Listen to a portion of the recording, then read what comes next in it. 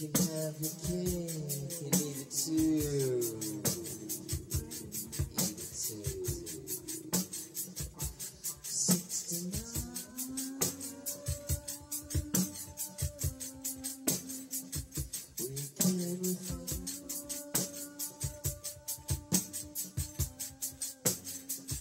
Fine.